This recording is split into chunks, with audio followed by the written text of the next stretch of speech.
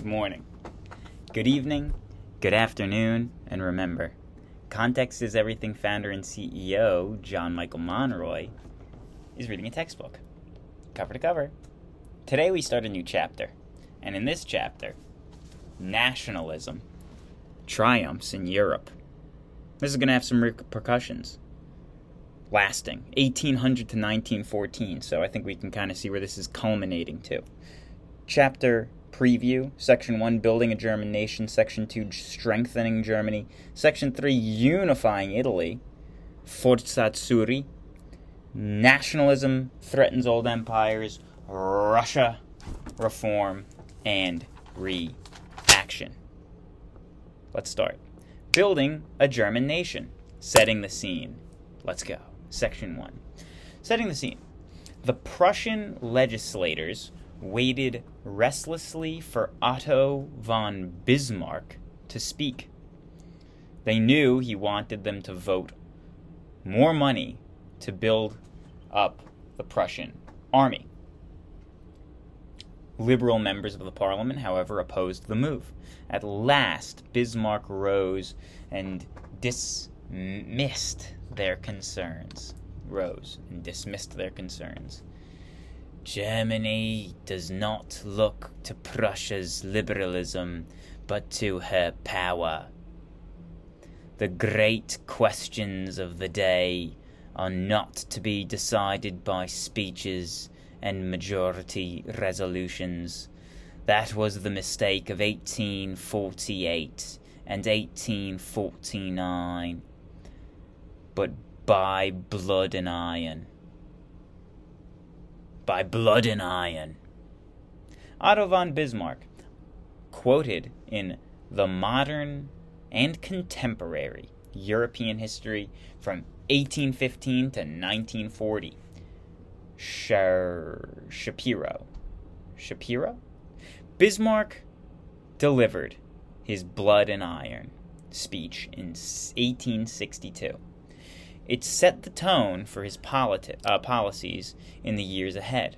Bismarck was determined to build strong, unified German state, with Prussia at its head. One second.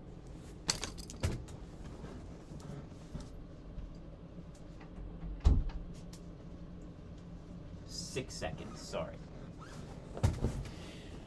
New heading, hence the glasses steps towards unity.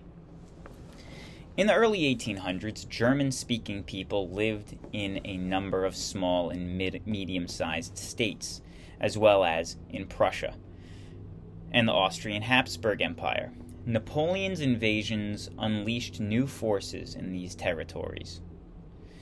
Impact of Napoleon. Between 1807 and 1812, Napoleon made important territorial changes in German speaking lands. He annexed lands along the Rhine River for France. He dissolved the Holy Roman Empire and organized a number of German states into the Rhine Confederation. Now Rhine is spelled R H I N E. I think I'm pronouncing it correct but I very well maybe not.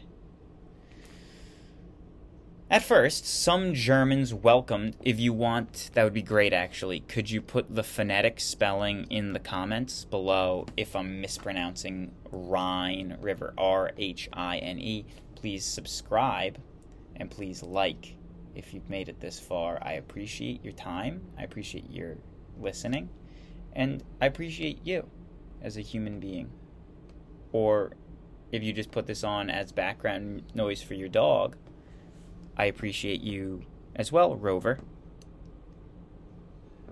Dogs don't tend to like me though, so. Well, they do like me when I play guitar, but that's a different question. For a different day. But we'll get to it. Leave it in the comments below. At first, some Germans welcomed French Empire Emperor as a hero with enlightened modern policies. He encouraged freeing the serfs, made trade easier, and abolished laws against Jews. However, not all Germans appreciated Napoleon and his changes. As people fought to free their lands from French rule, they began to demand a unified German state. Napoleon's defeat did not resolve the issue.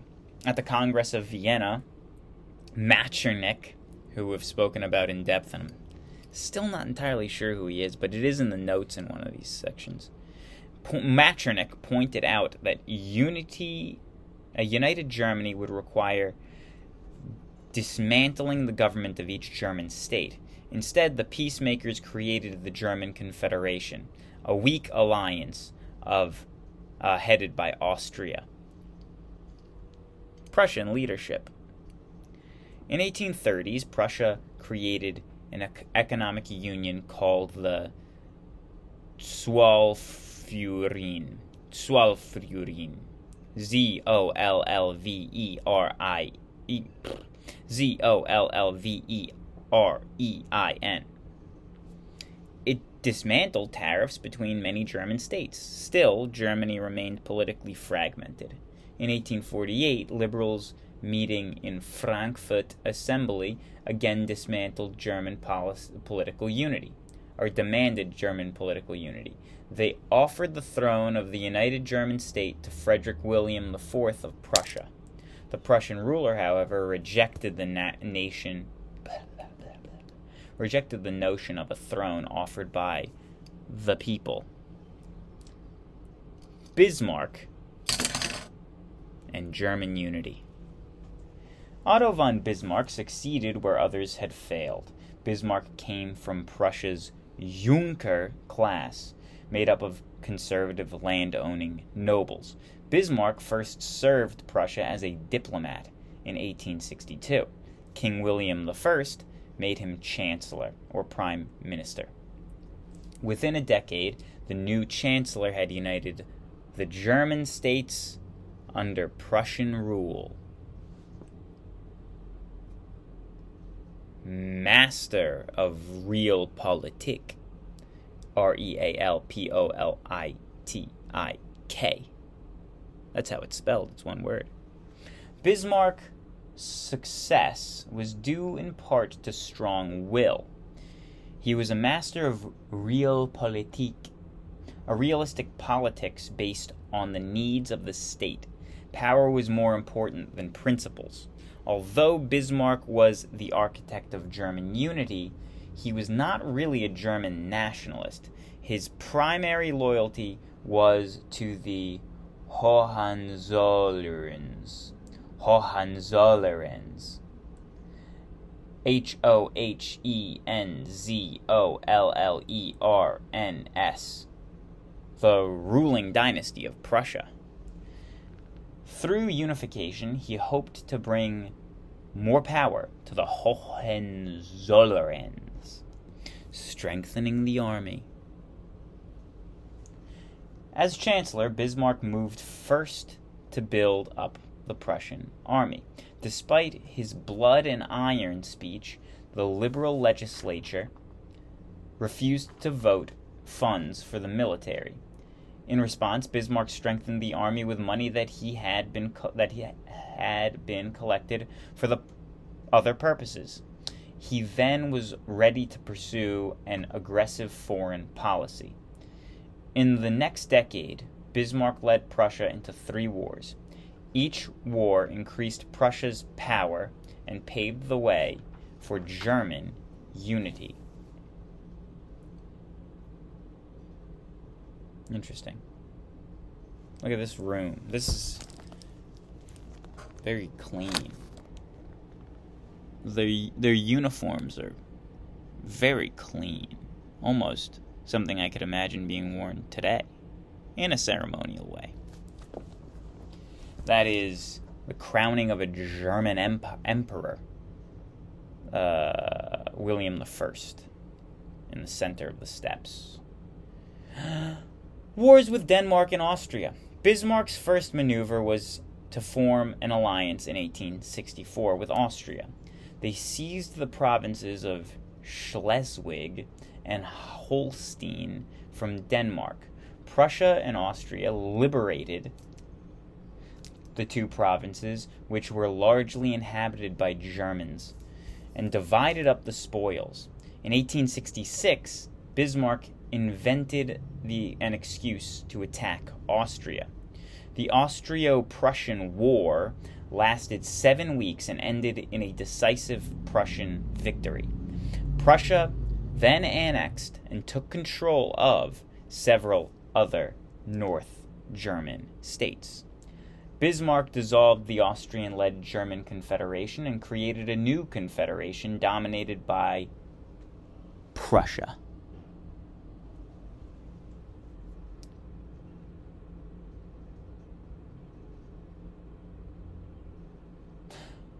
He allowed Austria and four other southern German states to remain independent.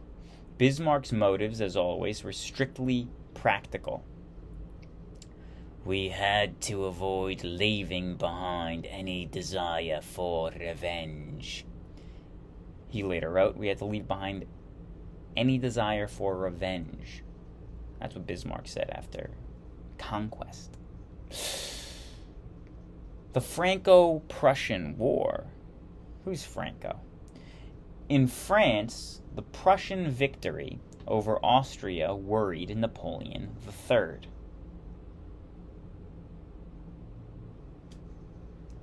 A growing rivalry between the two nations led to the Franco Prussian War of 1870.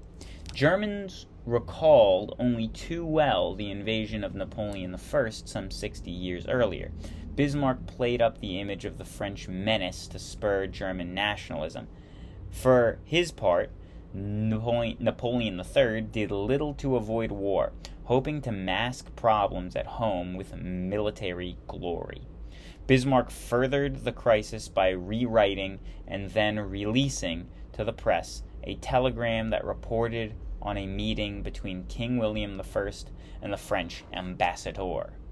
Bismarck's editing of the Ems dispatch, EMS dispatch, made it seem that William I had insulted the Frenchman. Furious, Napoleon III declared war on Prussia as Bismarck had hoped. The superior Prussian force, supported by troops from the German states, smashed the badly organized and poorly supplied French soldiers. Napoleon III, old and ill, surrendered within a few weeks. France had to accept a humiliating peace.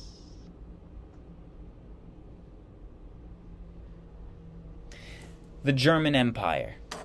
And that will be the end of today. Thank you. Please like and subscribe if you've made it this far. I do appreciate your time and your attention.